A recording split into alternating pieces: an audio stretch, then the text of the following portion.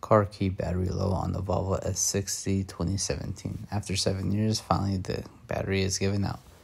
The doors won't lock manually, it'll have a hard time unlocking, and the only way to start the car is to place it inside the little handle.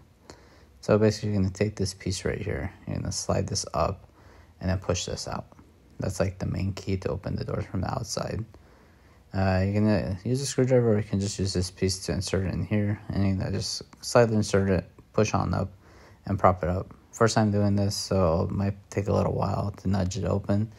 And once you get it open a little bit, you can see a little crack in there.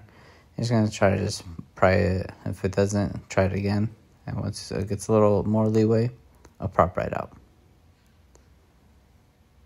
There you go. As you can see, it pops open easily. There's two batteries in there. One's going to be on the positive, one's to be on the negative.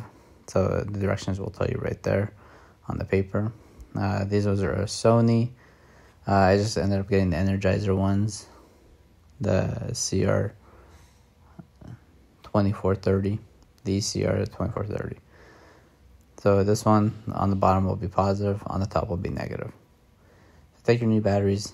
So you see the positive, it's just gonna, it's gonna go facing up, right under that paper.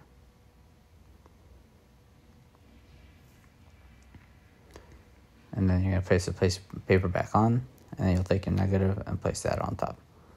After that you're just going to put your key back in place and everything should be working dandy and it's good as new. All your sensors your locking everything should start working. You shouldn't have any trouble and it should be easy to go from there.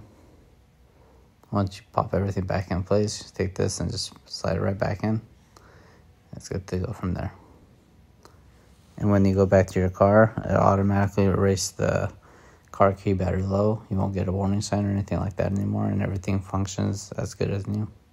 And that's how you change the car battery.